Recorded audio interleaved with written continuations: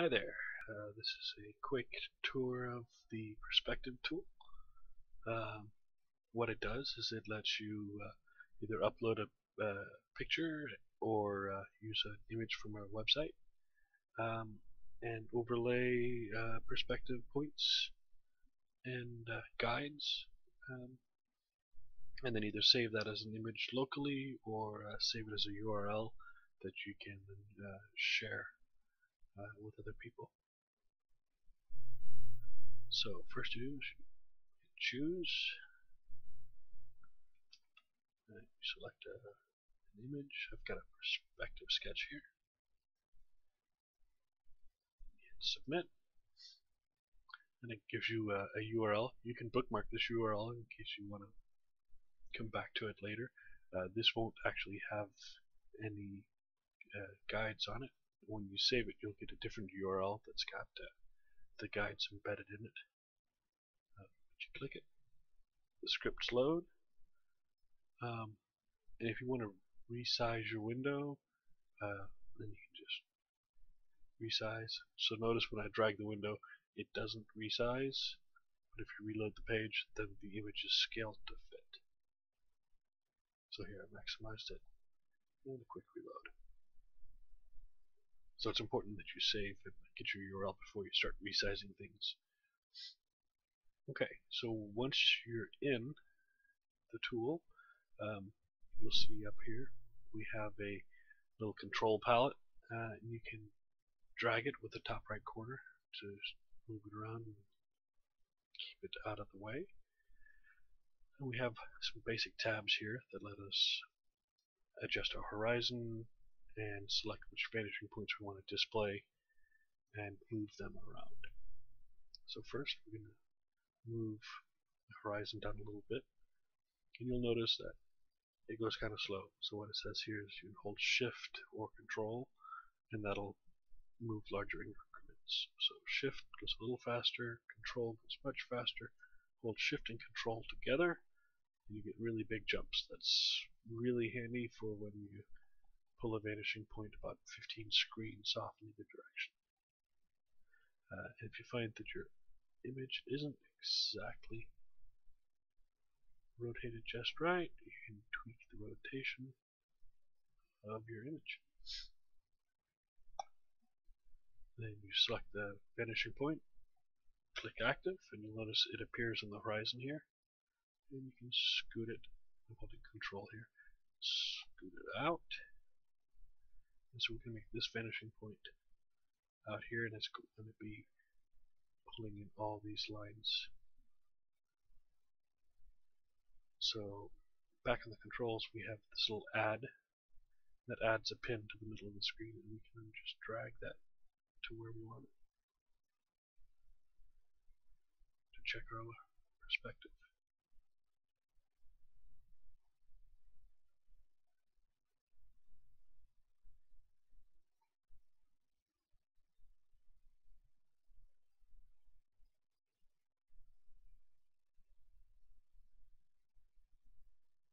Here we can already see that our vanishing point 1 needs to be way out in the distance, so holding shift and control,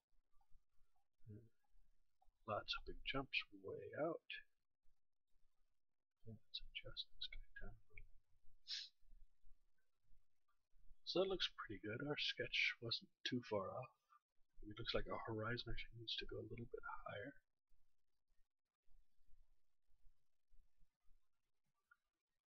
Alright, then we can start on the second vanishing point. It appears in the middle of the screen. Move it out. And we start adding our points.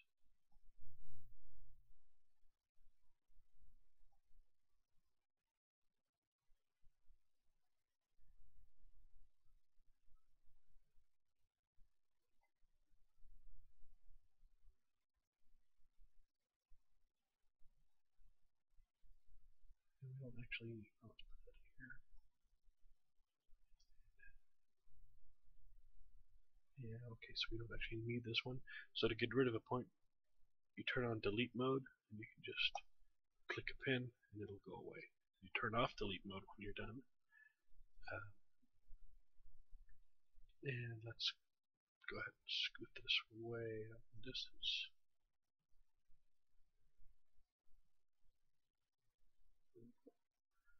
So here we can quickly see that we've got some funny stuff going on down here and this bottom waterline perspective was way off in our sketch so that's going to need to come back and get revisited.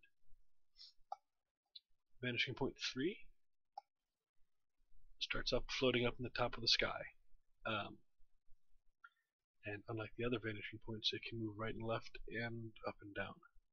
So depending on how intense you want your perspective tilt for your verticals, you can adjust that.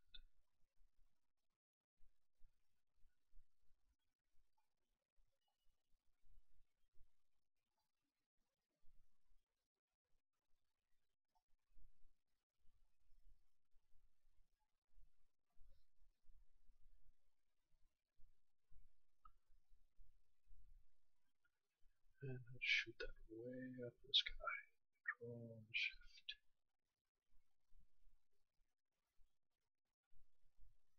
Looks like it's off to a little to the side. So there we go. Now everything's still a little to the side.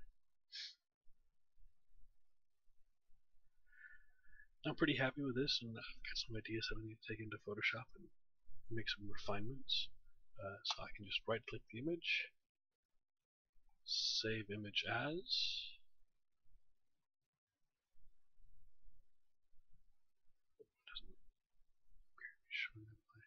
dialog. There it is. And you get to save it as a PNG file. Just hit save, and you're set. Uh, if this is an image you want to share uh, for critique or feedback, um, you hit the save button and it gets you a URL. Uh, this URL you can this pop up and you can just paste it into a forum or chat or whatever and anybody who visits it will load the screen and immediately have all those guides pop up.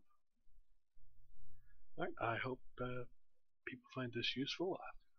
A couple other fun things I think would be interesting to add to this, but uh, please let me know if you have any suggestions.